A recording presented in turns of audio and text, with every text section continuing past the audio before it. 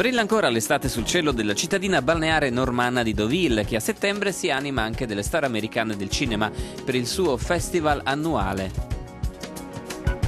A giudicare dall'elenco degli artisti presenti a Deauville, sia nella competizione che negli omaggi alla carriera, questa 39esima edizione del Festival del Cinema Americano si preannuncia particolarmente attraente.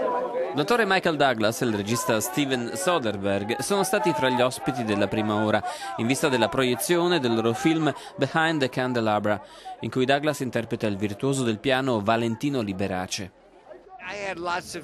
Come è noto ho affrontato un tumore, così abbiamo dovuto ritardare il set e quindi ho avuto molto tempo per provare.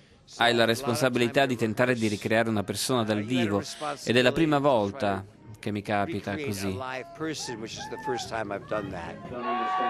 Per Soderbergh questo è l'ultimo lavoro tradizionalmente cinematografico, adesso inizia una nuova stagione per lui su un altro genere di set. Il mio futuro è in televisione. Fra un mese inizio a girare un serial di 10 ore, il titolo è The Nick ed è ambientato in un ospedale newyorkese ai primi del Novecento. Uh, it's, it's, uh, it's very entertaining.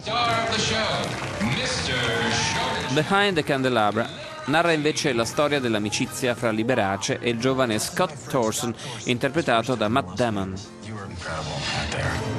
Well, this must be fate. I have a great idea. Why don't you come work for me? As what? I need a companion, a bodyguard, someone I can talk to. Say yes, guys. Il primo dei quattro premi alla carriera che Deauville quest'anno distribuisce è andato a Cat Blanchett.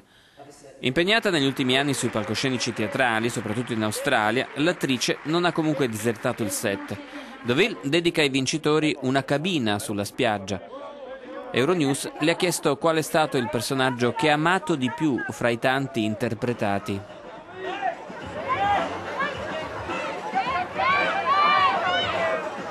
Ho cercato di non innamorarmi troppo, siamo all'esperienza di girare. Ho apprezzato i lavori con Ron Howard, Missing, mi è piaciuto moltissimo girare a San Francisco con Woody Allen, probabilmente anche lavorare con Todd Hines. Soderbergh era qui. Mi avrebbe entusiasmato lavorare ancora con lui se non avesse lasciato il cinema. In cartellone a Deauville c'è anche l'ultimo film di Woody Allen, Blue Jasmine, in cui la Blancetta è la protagonista, una donna dell'alta società newyorkese che dopo dopo il crollo finanziario e l'arresto del marito, si trasferisce dalla sorella a San Francisco, completamente al verde e per la prima volta costretta a fare i conti con la dura realtà della vita.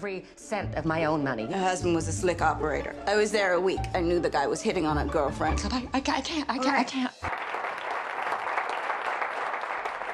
Tra gli altri film del grande schermo a Deauville segnaliamo The Butler di Lee Daniels, in cui Forrest Whitaker interpreta un cameriere nero che per tanti anni è stato il maggiordomo di diversi presidenti degli Stati Uniti d'America.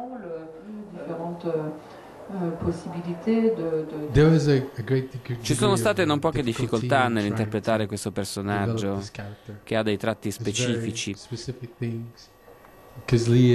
Lì ha fatto questo grande viaggio, questa ricerca per poi riportarmi l'esperienza delle sue scoperte.